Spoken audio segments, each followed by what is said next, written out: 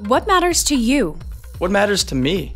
There are so many problems in the world Hunger, corruption, Disease, climate change, poverty, lack of education, human trafficking, disrespect, conflict, violence, greed, inequality, illiteracy. injustice. hate, apathy. What can we do? What could I do? I'm just one person. What am I doing? How can I make a difference? What's the solution? What's the solution? What's the solution? I can't describe it, but it's not just money. It's not fame or power. The government isn't enough. It's the motivation to take action. It's the impact of thousands of people doing one small thing. It's the passion that makes you forget everything else. It's the responsibility to do whatever you can.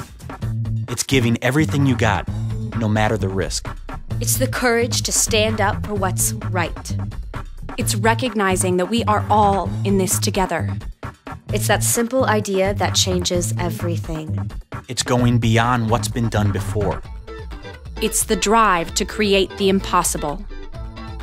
I believe there are no impossibles.